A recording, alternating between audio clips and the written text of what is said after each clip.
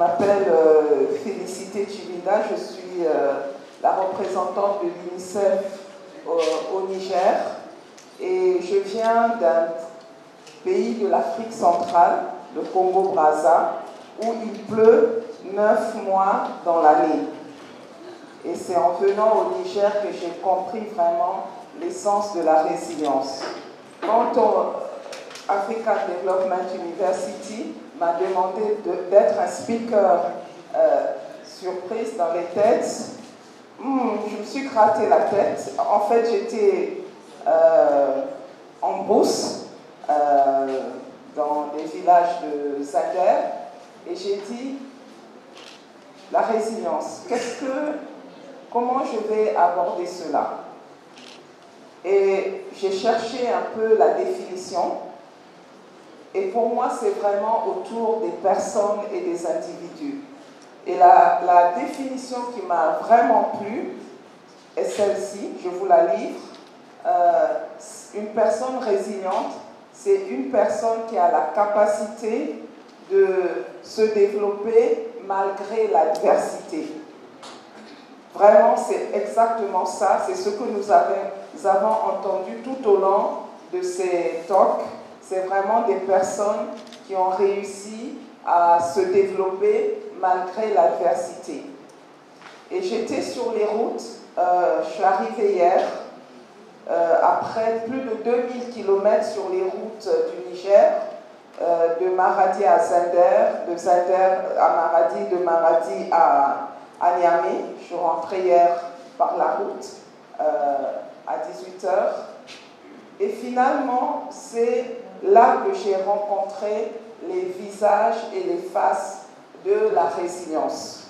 Beaucoup de personnes que nous avons entendues sont des citadins, sont des gens qui vivent euh, à Niamey, qui ont des parcours qui sont plus euh, des parcours urbains.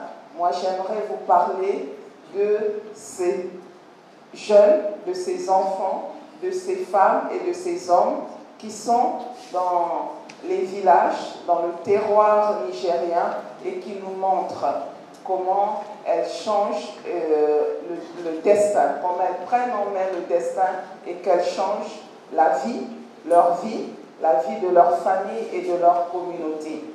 Euh, j'ai rencontré un groupe de femmes, n'ont pas été à l'école, ces femmes, à, à Maradi, et elles ont décidé de ramasser les ordures ménagères qui défigurent les rues de Maradi, les villages, euh, les champs, euh, en particulier les plastiques. Et elles ont dit qu'elles ont décidé de faire le ramassage.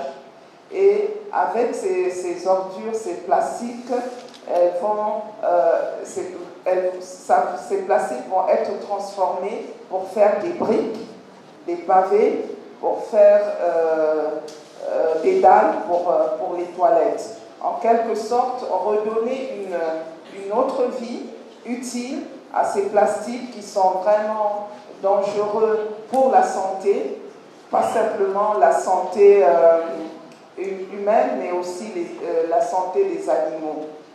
Elles ont aussi dit qu'elles veulent sensibiliser les familles à faire le tri, à ramasser, à trier euh, et à contrôler les ordures ménagères. Elles ont aussi dit quelque chose, elles ont dit nous aimerions sensibiliser ces jeunes euh, qui sont dans les fadas, qui sont dans les palais, pour ceux qui connaissent euh, le Niger, et qui sont, euh, qui en, à longueur de journée, sirotent du thé devant un tas d'immondices. Nous devons leur demander que eux aussi, ils puissent aider au ramassage des ordures. Ce sont des femmes qui ne, qui ne connaissent pas euh, ce que le, changement climatique.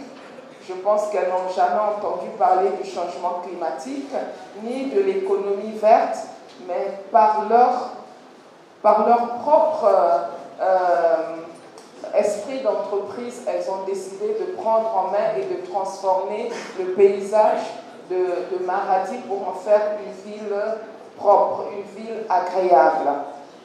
Ça, c'est un premier exemple qui, pour moi, montre comment euh, on prend son destin en main et on décide pour des choses qui sont positives, non seulement pour elle, mais aussi pour la communauté.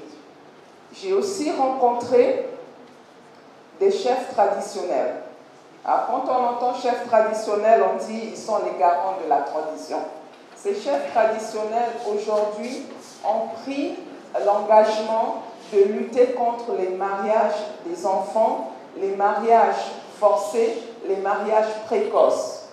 Parce que euh, dans nos régions, des filles sont données en mariage à 12 ans, à 13 ans, à 14 ans, à 15 ans ou à 16 ans. Elles sont arrachées de leur enfance, de leur adolescence, y compris de l'école. Et ces, ces, chefs traditionnels ont pris le bâton des pèlerins pour aller parler à tous les autres pour dire que nous devons mettre fin à cela.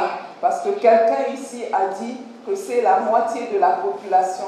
Nous ne pouvons pas la nier, nous ne pouvons pas empêcher qu'elle puisse cette moitié contribuer au développement. Le Niger ne, pourra se développer qu'avec toutes, euh, euh, les personnes, et, euh, les hommes comme les femmes.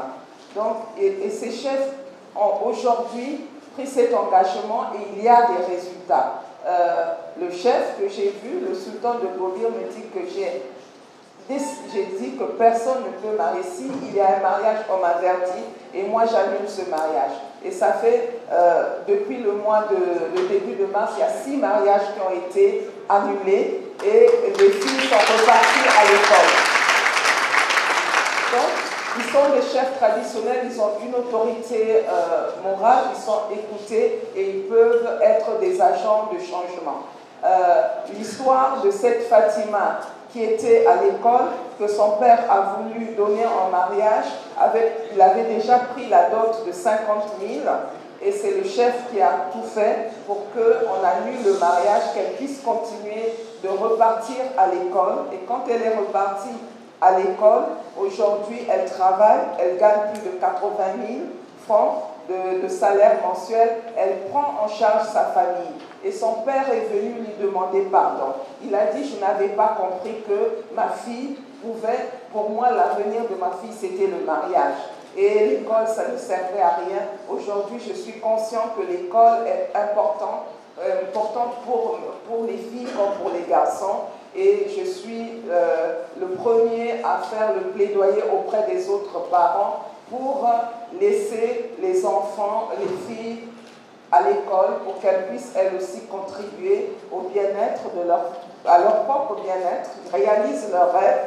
On a parlé des rêves ici, mais aussi euh, qu'ils puissent euh, contribuer au bien-être de, de, leur famille et de leur communauté.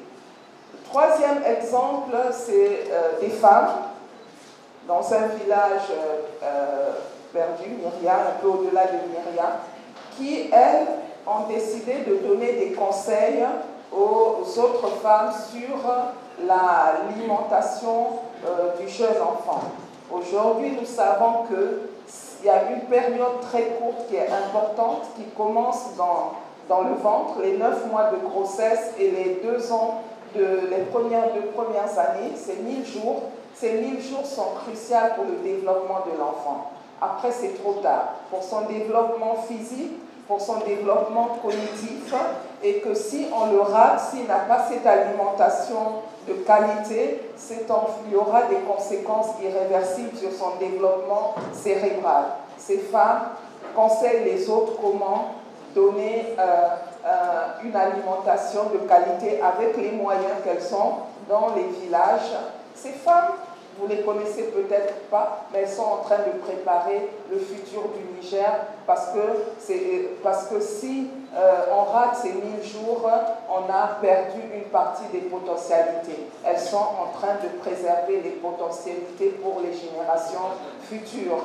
Et pour nous, c'est un peu ce message que je voulais faire passer, que, que dans mon voyage de nomade itinérant, j'ai rencontré des, hommes, des femmes, des jeunes qui sont en train d'écrire l'histoire de la Renaissance. C'est pas c'est à Giratawa, c'est à Myria, c'est à Gilgini, c'est à Bilma, c'est à Fachi que l'histoire est en train de s'écrire.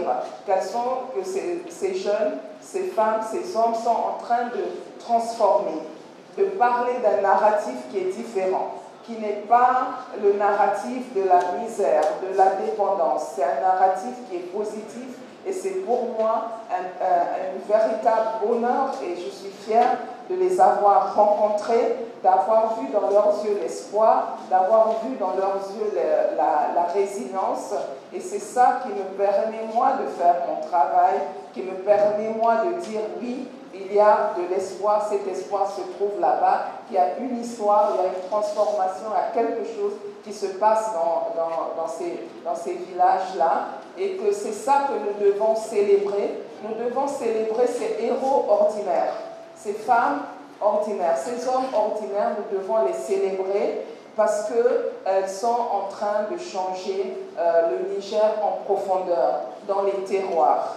Euh, c'est important pour nous euh, parce que l'histoire euh, prend ses racines dans les terroirs. Si nous voulons que cet arbre que nous parlons, la résilience, on a parlé de l'arbre du, désert, il faut que les racines soient fortes et ces racines se trouvent dans, dans ces terroirs avec ces femmes. Nous devons célébrer ce qu'elles font parce que bien souvent, elles montrent que malgré l'adversité, on peut s'en sortir. Alors que nous avons des femmes qui euh, préfèrent, euh, et je l'ai vu aussi, euh, affamer l'enfant, donner des laxatifs pour que l'enfant rentre dans, le programme nutritionnel et pour qu'elle ait de l'aide alimentaire et des intrants nutritionnels. Les autres vous montrent qu'elles se prennent en main, qu'elles se lèvent et qu'elles sont en train de changer, qu'elles sont capables de pouvoir euh, garder leurs enfants en bonne, santé et de montrer que tout commence par soi. Le changement, c'est, ça commence par soi-même et, c'est pour moi le message le plus important. On, l'a vu, euh, on peut euh, tomber, on a des défis dans la vie. Une vie n'est jamais un, coup, un fleuve tranquille. Il y a toujours des moments d'adversité. Le plus important, c'est de se relever et de continuer et d'avoir toujours de l'espoir et de montrer aux autres, même s'ils se moquent de vous, que vous êtes capable et que vous allez y arriver. Vous faites des plans, vous y allez et, vous savez que l'échec est un apprentissage. Il n'y a pas d'échec. Tout ce que nous faisons dans la vie est un apprentissage. Euh, mon histoire personnelle le dit aussi. Euh, J'ai vécu des expériences difficiles mais je suis aujourd'hui debout et je dis que quand je regarde ces expériences, ils m'ont appris à me mettre devant, de, debout devant vous pour dire que euh, le changement, il est déjà là et il est avec ces, ces jeunes, euh, ces femmes, euh, ces enfants dans le terroir euh, nigérien et je suis fière de les avoir rencontrés.